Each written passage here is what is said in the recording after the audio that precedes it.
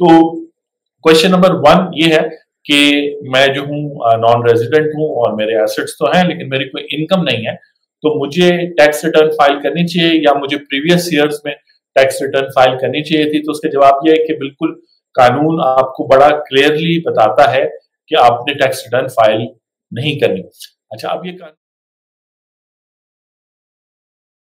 ये first question आया। और उतनी ही रेजिस्टेंस जिस तरह अभी भी मिलती है उतनी मिली आ, उस वक्त भी मिली। तो हमने लोगों को बताना शुरू किया कि जी वेल स्टेटमेंट फ़ाइल नहीं करी। तो बहुत सारे कंसल्टेंट्स हमें फ़ोन करके मुझे पूछते थे कि सर आप बिल्कुल ठीक कह रहे हैं। हम भी लॉजिक समझ गए जिस तहत आप कह रहे हैं। लेकिन जब हम रिटर्न फ़ाइल करते हैं इनकम टैक्स की तो साथ में वेल स्टेटमेंट भी होती है और वो कहता है कि जी अगर साथ ना भी हो अटैच तो वो कहता है फ़र्स्ट फ़ाइल वेल स्टेटमेंट तो मैं उनको कहता था कि जो इनकम टैक्स रिटर्न है, उसमें एट्रीब्यूट्स के कॉलम में आप जाएँ और एट्रीब्यूट्स में रेजिडेंशियल स्टेटस में जाके बाय डिफ़ॉल्ट वो रेजिडेंट पे सेट होती है, उसको जाके नॉन रेजिडेंट पे सेट कर दें तो फिर आपसे वो वेल स्टेटमेंट नहीं मांगेगा। मतलब आप income tax return independently file कर सकेंगे तो ये मज़े की बात जो बहुत सालों से, अब बहुत सारे कंसल्टेंट्स को समझ आ गई है, वरना आज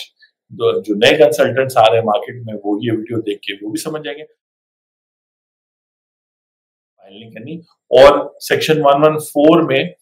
वो लोग जो उस सेक्शन में फॉल नहीं करते, उनको भी रिटर्न फ़ाइल करने की ज़रूरत नहीं है। लेकिन आज हम जो है ना फोकस वेल्थ स्टेटमेंट पे करें तो उसका आंसर ये है कि इस साल टैक्स ईयर 2025 में जब आप प्रॉपर्टी परचेज करेंगे तो आप सेलर और बायर के दरमियान जो भी जो भी कीमत तय होगी मार्केट की, वो तो होगी। लेकिन एफबीआर वाले एक सर्टन वैल्यू से आपसे एडवांस विदहोल्डिंग चार्ज करेंगे एडवांस इनकम टैक्स चार्ज करेंगे सेक्शन 236 के के तहत। क्वेश्चन नंबर टू के हवाले से हम बात करें कि आपसे एडवांस डिडक्शन होगी टैक्स की, आपकी प्रॉपर्टी की फेयर मार्केट वैल्यू के हिसाब से फेयर मार्केट वैल्यू को इनकम टैक्स लॉ कहता है, वो वैल्यू जो एफबीआर ने सेट की तो आपको पता होगा कि इमूवेबल प्रॉपर्टी की ज़्यादातर शहरों में एफबीआर ने कमर्शियल भी और रेजिडेंशियल प्रॉपर्टी की उन्होंने वैल्यू सेट की हुई है और उसके फॉल्टी है। और इसमें हम पहले भी प्रोग्राम्स कर चुके हैं कि वो हर वो शख्स जिसको फिर टेक्स एक्ट में आना पड़ जाता है, उसको वो नॉन फाइलर समझते हैं, जबकि नॉन फाइलर वो होता है, चाहे वो रेजिडेंट हो या नॉन रेजिडेंट हो, दोनों केसेस में नॉन फाइलर वो है, जिसकी पाकिस्तान सोर्स इनकम है और वो रिटर्न फ़ाइल नहीं कर रहा, वो नॉन फाइलर है? और मैं ये बता रहा हूँ कि अगर आप नॉन फाइलर है एफबीआर के अप्रोच के मुताबिक, क्योंकि आप सिस्टम में आ रहे हैं फ़र्स्ट टाइम तो आपसे चार्ज किया जाएगा, अगर प्रॉपर्टी की वैल्यू पाँच करोड़ से कम है तो आपसे ट्वेल्व परसेंट विद होल्ड किया जाएगा एडवांस टैक्स तो थ्री परसेंट और सिक्स परसेंट के मुकाबले में, यानी एक्टिव और लेट फाइलर के मुकाबले में आपसे डबल ट्वेल्व परसेंट चार्ज किया जाएगा। अगर आप जो प्रॉपर्टी खरीद रहे हैं वो पाँच करोड़ से ज़्यादा है और दस करोड़ से कम है, यानी कि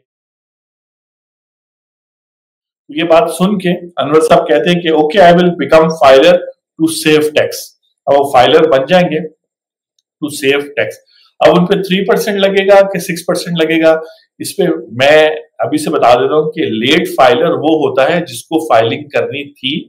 लेकिन उसने फाइलिंग नहीं की तो वो लेट फाइलर था।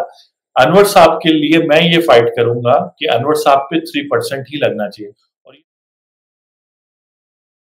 समझ सकते हैं कि अगर आप स्टूडेंट थे और अब आपकी जॉब हुई है फ़र्स्ट ईयर है और आपको फैमिली सपोर्ट करी है कोई प्रॉपर्टी खरीदने के लिए या आपकी जॉब इतनी अच्छी हुई है कि आपके पास फ़र्स्ट ईयर में वो पैसे आए हैं कि आप डाउट पेमेंट कर सक रहे हैं इंस्टॉलमेंट पे भी तो